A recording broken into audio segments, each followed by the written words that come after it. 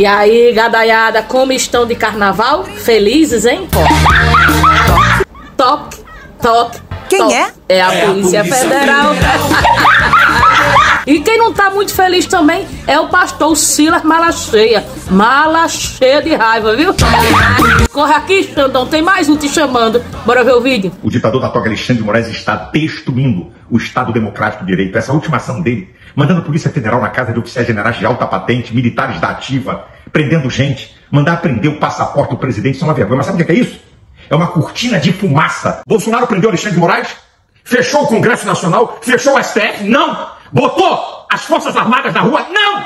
O que Bolsonaro e esses generais de alta patente têm a ver com a baderna do dia 8 de 1? Nada!